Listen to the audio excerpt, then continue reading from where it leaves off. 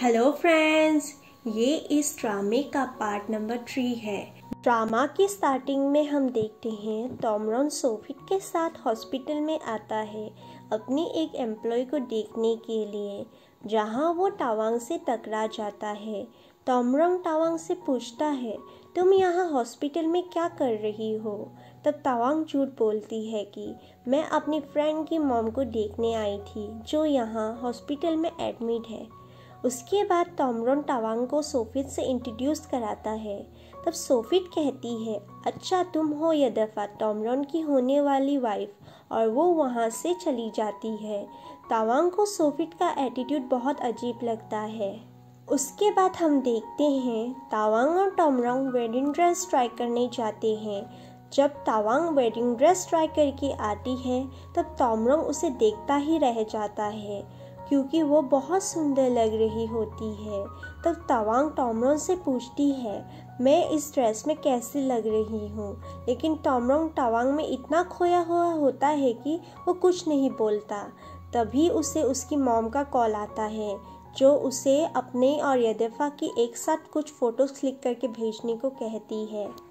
उसके बाद तोमरन और तवांग एक साथ फ़ोटोज़ खींचाते हैं। तब तोमरन तवांग के क्लोज जाकर फ़ोटोज़ क्लिक करा रहा होता है। तब तवांग को बहुत अजीब लग रहा होता है। तोमरन वो फ़ोटोज़ अपनी मॉम को भेज देता है, जो उसके पेरेंट्स देखकर बहुत खुश होते हैं। और टॉमरन की मॉम वो फ़ोटोज़ टॉमरन की यंगर सिस्टर नोई को भेज देती है। नोई हैंडीकैप होती है। नोई जब टॉमरन और टवांग की साथ में फ़ोटोज़ देखती है, वो गुस्से में रोने लगती है। क्योंकि वो अपने ब्रदर को लेकर बहुत पॉजिटिव है। उसे लगता है कि अगर टॉमरन की शादी हो गई तो तब उसका भाई उसका केयर नहीं करेगा। जब नोए की नर्स किंग भी वो फ़ोटोज़ देखती है, तब उसे भी बहुत गुस्सा आता है, क्योंकि किंग टॉमरन को बहुत पसंद करती है। उसके बाद किंग टॉमरन को कॉल करके बताती है कि नोई को पता चल गया है कि तुम शादी कर रहे हो, जो वो एक्सेप्ट नहीं कर पा रही है। उसके बाद हम देखते हैं, तावांग ड्रेस चेंज करके बाहर आ जाती है। तब टॉमरोंग तावांग को कहता है, तुम खुद घर चले जाना, मैं तुम्हें ड्रॉप करने नहीं जाऊँगा। तब तावांग कहती है, तुम्हारे साथ जाना भी कौन चाहता है? और वो वहाँ से एटीट्यूड के साथ जाने लगती है। तभी उसकी हील टूट जाती है, जिससे वो गिर जाती है। तब तोमरंग उसे देखकर हंसने लगता है। तब तावांग कहती है, तुम हंसना बंद करो और मुझे उठाओ। लेकिन तोमरंग वहाँ से स्टाइलिश उसे वॉक करके चला जाता है। तोमरन का वॉक बहुत फनी होता है। उसके बाद हम सूकी को देखते हैं, जो तवांग के पास पूछने आता है कि, तुम शादी क्यों कर रही हो? मुझे क्यों नहीं बताया? और किससे शादी कर रही हो? लेकिन तवांग उसे कुछ नहीं बताती है, और वो सूकी से कहती है, तुम इसके बारे में मेरी मॉम को भी कुछ नहीं बताना। ये सुनकर शुकी शौक होता है कि तवांग की मॉम को भी नहीं पता है कि तवांग शादी कर रही है। तब तवांग कहती है, मेरी कुछ मजबूरी है, इसलिए मैं शादी कर रही हूँ। इसके बाद हम देखते हैं सोवियत तोमरों से पूछती है, तुम तवांग से शादी क्यों कर रही हो? वो तो देखने में भी सुंदर नहीं होगी, और बिना मेकअप में तो वो देखने में क्या ही लगेगी। तुम्हारे लिए मैं ही परफेक्ट हूँ तभी वहाँ तवांग आ जाती है और वो सब सुन लेती है। जब सोफिर तवांग को देखती है, वो चुप हो जाती है। तवांग उसके बाद वो सोफिट को सीट से उठने को कहती है और उसके लिए कॉफ़ी लाने को कहती है। सोफिट को इससे बहुत गुस्सा आता है, लेकिन उसे मजबूरन करना पड़ता है। टॉमरन टावांग के इस एटीट्यूड को देखकर टावांग से कहता है तुम सोफीत से अच्छे से बात करना, क्योंकि वो मेरी सेक्रेटरी होने के साथ साथ मेरी बेस्ट फ्रेंड भी है। तब तवांग कहती है तो मैं क्या करूँ? वो थोड़े ना मेरी बेस्ट फ्रेंड है। तवांग को टॉमरन ने ही ऑफ़िस में मिलने बुलाया था। टॉमरन तवांग को फ़्लाइट का टिकट देता है, पुकेट का, और उसे अपने साथ वहाँ जाने को कहता है, जिससे वो तवांग को नोए से मिला सके और उसे मना सके। लेकिन तवांग जाने से मना करती है और बहाना बनाते हुए कहती है, मेरी मॉम की तबीयत खराब है। तोमरन को उसकी बात पर यकीन नहीं होता है। तब तवांग कहती है, अगर तुम्हें मुझ पर यकीन नहीं हो रहा है तो खुद घर आकर देख लो।